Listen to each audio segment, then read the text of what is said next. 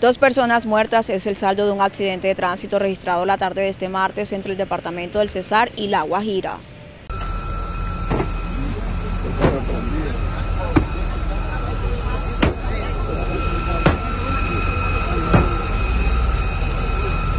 La morgue de Valledupar permanecen los cadáveres de las víctimas del accidente de tránsito registrado entre el Cesar y La Guajira la tarde de este martes. El conductor del vehículo incinerado, marca Kia, murió de manera inmediata. Esta persona fue identificada como Juan Carlos Jiménez, de 40 años. Su cuerpo quedó irreconocible.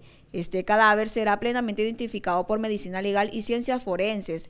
El occiso residía en el municipio de Las Aguas de Ibirico y era oriundo del departamento de Córdoba. La segunda persona fallecida respondía al nombre de Nader Fernando Maestre Molina, conductor del otro vehículo implicado, quien perdió la vida cuando recibía atención médica en un centro asistencial de Valledupar, hasta donde fue trasladado. Este sujeto residía en el municipio de Urumita, La Guajira. La víctima dejó un hijo de dos años. Los lesionados fueron identificados como Sandra Marcela Romero Molina y Dubán Molina Mendoza, ocupantes del vehículo que conducía Mestre Molina. De acuerdo a las autoridades de tránsito, la hipótesis de este percance vial serían por la superficie húmeda debido a la temporada de lluvias que se registran actualmente.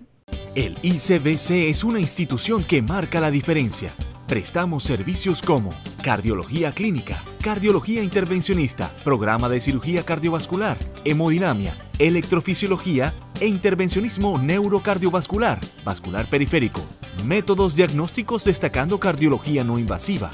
Además, contamos con el servicio de unidad de cuidados intensivos y hospitalización, un equipo humano comprometido en el cuidado y monitoreo de nuestros pacientes brindando un servicio oportuno según la necesidad. Nuestro lema es Por el corazón del valle. Le ponemos el corazón para el bienestar de nuestros pacientes. Somos el Instituto Cardiovascular del Cesar.